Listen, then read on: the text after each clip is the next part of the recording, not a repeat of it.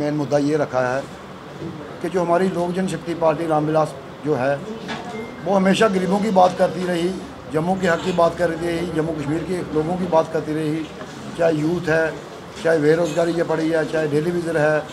आप देखो कि यहाँ पे जो हमारे महाराजा हरि सिंह की छुट्टी का नहीं, आज तक इनको एक हौसला बुलंद इनका हर एक जम्मू कश्मीर की जो शान थी हमारी महाराजा हरि सिंह, उनकी छुट्टी नहीं दी जा रही है।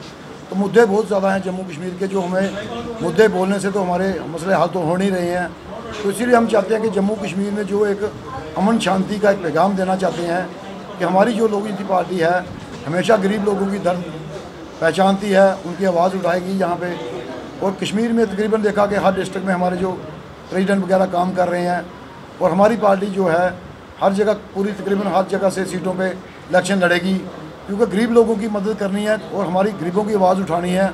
हमारे जो चिराग पासवान जी हैं, उनका दौरा था पिछले दिनों। क्योंकि रद्द किया गया, थोड़ा उनको ऐसा काम बढ़ गया कि जिसमें वो नहीं आ सके। तो हम तो कोशिश करते हैं कि जल्द से जल्द जम्मू कश्मीर में आए। हम उनको, उन तक जो समस्या जहाँ जम्मू लोगों की पहचान, पहुँचाना चाहते हैं। आज हमारे साथ बहुत ज़्यादा भेदभाव जैसा हो रहा है। जम्मू कश्मीर में हमारी स्टेट को तोड़ दिया गया। हम चाहते हैं कि इलेक्शन से पहले हमारी जो स्टेट को वापस करना चाहिए। क्योंकि हमारे जो मुद्दे हैं, जहाँ पे बिजली पानी का मुद्दा था कि हमें बिजली पानी के लिए हमने प्रोटेक्ट भी किया, पिछले दिन हमने गिरफ्तारी वगैरह भी दी थी।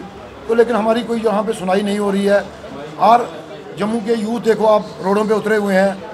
हर जो आदमी है, परेशान है, मजबूर है, किसी की सुनाई नहीं हो रही है।